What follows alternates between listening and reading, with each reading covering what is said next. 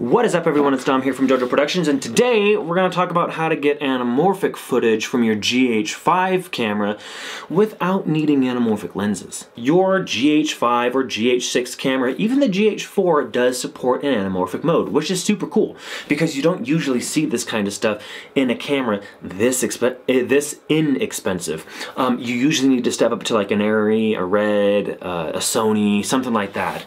Um, so the fact that it's actually in a camera like like this um, so inexpensively is really cool. Like Panasonic is giving us high-end video functions without the really high-end price, which is great. So, your camera has an anamorphic mode and you're ready to use it but you don't have an anamorphic lens because anamorphic lenses are so darn expensive. Even some of the cheaper ones are usually around $2,000. Not all of us can afford to shell over that kind of money just for a lens, but it is a special lens that's going to give you a very special look that's very high end and very sought after. So yes, you are going to have to kind of pay the premium for that. Now, there is a way that you can get the anamorphic look from your spherical lens like I have here, which is my Sigma 18 to 35. Um, you are going to need to open up the anamorphic mode on your GH5 camera. And when you do, the frame is totally going to change. It's going to turn into like a little square, a little box, right? Which is perfect because it's an open gate mode. This is perfect because usually with your anamorphic lens, it's going to take that image and it's going to squeeze it onto that small little square. And you might be thinking, why on earth does it do that? Well, because in post, what you're going to do is you're going to take that square and you are going to stretch it. Now, most of the time, we like to fake the anamorphic look. Um, we put the black bars on the top and the bottom of our um, frame, right? Which is fine, and it's faking it. Um, but when you do that, you are cutting off um, detail on the top and the bottom. So you're like, you're actually losing um, information, basically. Anamorphic records the whole image and stretches it. It does not cut off. It's the whole frame. You are not cutting off anything. So you're going to open up the anamorphic mode on your camera. And again, like I said, you're going to get that little square. Um, it's not going to be squeezed because you are not shooting an anamorphic lens. In fact, it's going to look great. it's just going to look like you're shooting an old um, like an old style, it's gonna look like an old style TV, just a square, right?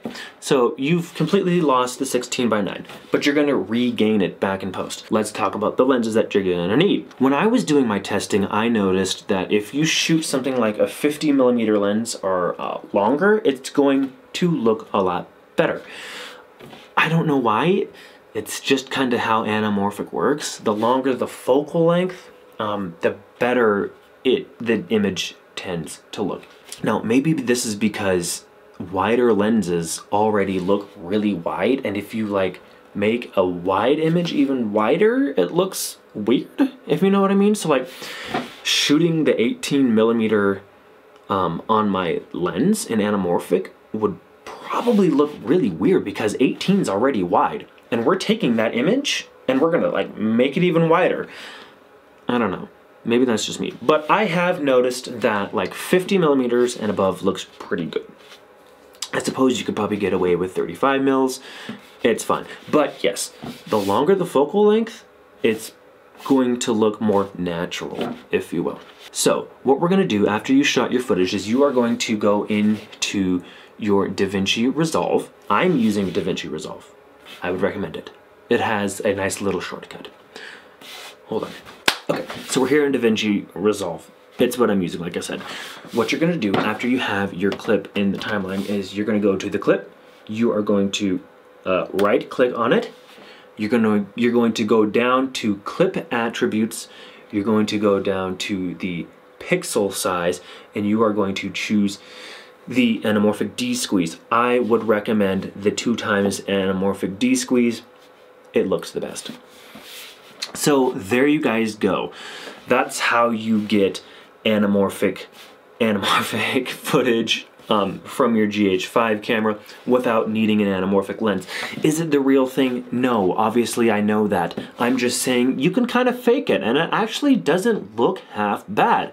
So, there you guys go. If you enjoyed this video, give it a big thumbs up. If you loved it, subscribe. If you have any questions or comments, uh, let me know. I'll be sure to get to those. Um, and until next time, I'll see you guys in the next video. Bye.